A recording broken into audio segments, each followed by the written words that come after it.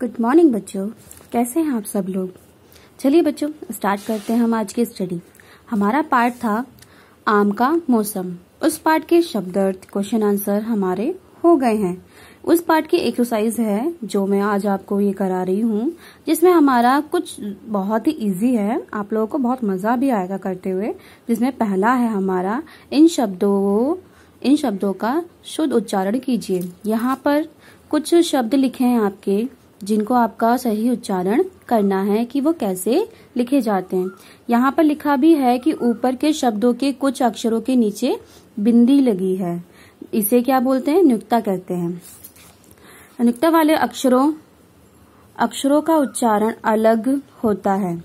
ठीक है? जैसे हम इसका प्रयोग हमारा विदेशी भाषाओं के लिए भी किया जाता है? जैसे अरबी आ गया, फारसी आ गया, अंग्रेज़ी आ गया, तुर्की है, हिंदी है, ये सारे अलग अलग विदेशी शब्द हैं। तो इनका भाषा, इनका यूज़ किया जाता है।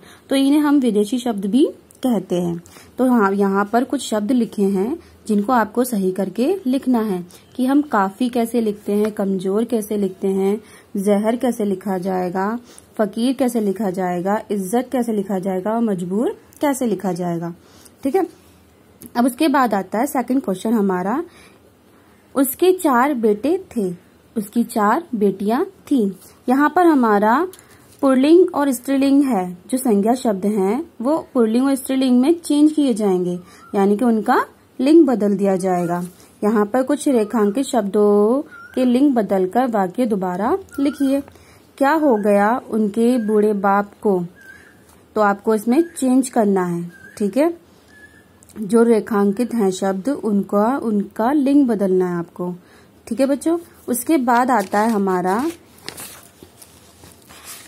ये हमारे कुछ मुहावरे हैं, जिनको आपका वाक्य प्रयोग करना है।